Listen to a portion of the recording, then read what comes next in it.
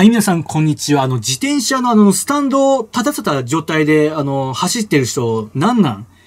一ノ瀬隼人でございます。あれ、曲がった瞬間、ガリガリってなんないのかな？さあ、本日は2021年11月23日、えー夜の8時を迎えたところでございます。えー仮面ライダービヨンドジェネレーションズの、えー、ツイッターの方のあの、アカウントを見たらですね、仮面ライダーの歴史を切り裂く、衝撃の未来。本ビジュアルウェブ本予告がついに解禁。えー一ノ瀬さん、出番です。明日、7時、こうご期待。ああ。なんでこんな朝早いのよ。あの、前回のスーパーヒーロー戦記もそうでしたね。あの、朝から発表ありましたね。で、寝起きの状態で予告を見るっていうね。今回もそのパターンです。会社行く前には撮影してで、編集してで、アップロードふぅさあ、60分でできるかなということで、え、2021年11月24日の一ノ瀬さん、うるさいな。うわー、うなみんせー朝飯。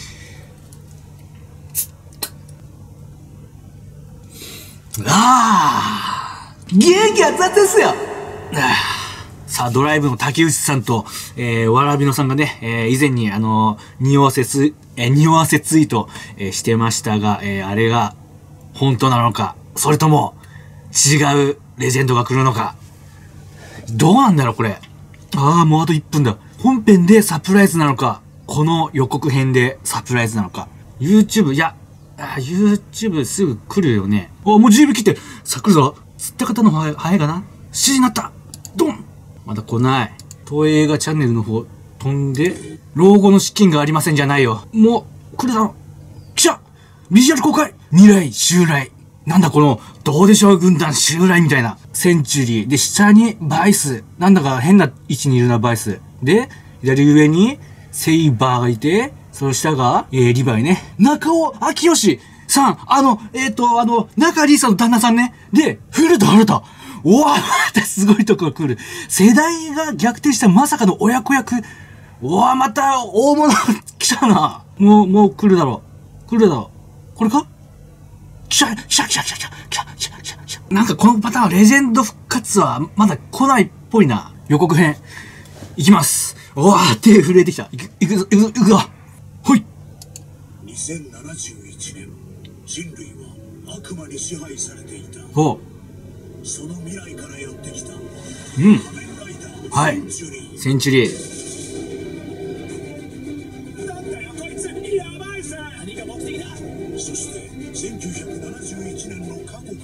お。おおおお親子。親子。家族を捨てた。自分勝手な父親とは違う。どうすか？彼は。ショッカーの研究員でした。え？過去現在未来一体何が起きているんでしょう？あ来ないパターンかこれは。いやでもなんかすげえ。おうわあ聖和聖和組が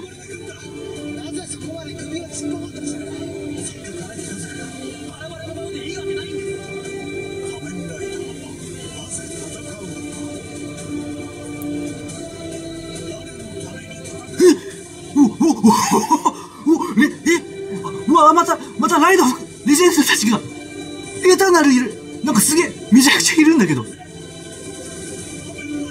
おお来ないか。誰だ今の？おはい行きますよ。オンライン前売り券発売決定あああれか。変身サウンド。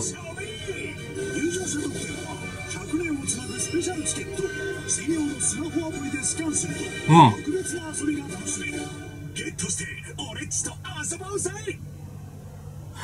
おおあ、え、なんかやっぱここでレジェンド来られたらなんか怖かった。さあ、え今回の、え仮面ライダービヨンドジェネレーションズはですね、あの、お得意の親子物語でございます。中尾明慶さん、そして古田新太さん。この中尾さんの方が1971年に来た、えー父親役で、で、古田新太さんの方が中尾さんの息子役。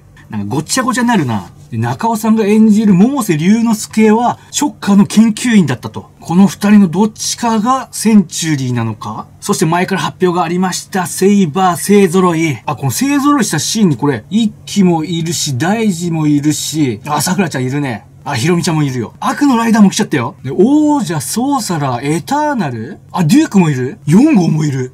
あ、これ、あ、これ松岡さん声パターンあるか？この勢揃いした悪のライダーの前に立ちふさがってる、この二人のライダー。ナイトとアクセル。どういうチョイスなんだろうか。で、バルキリーいるし。で、エグゼイド無敵ゲーマー、ブレイド。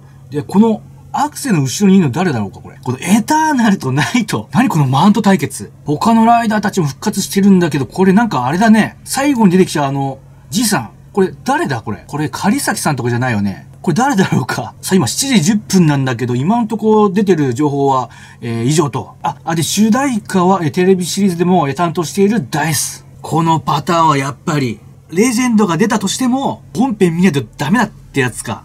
いや、朝から湧いてきましたな。まあでも何かしらのサプライズは隠してると思いますよ。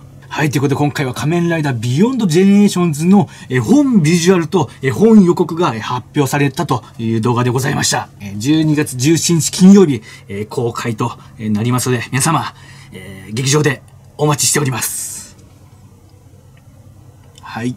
最後のご視聴ありがとうございました。以上、一ノ瀬隼人でございました。また次の動画でお会いいたしましょう。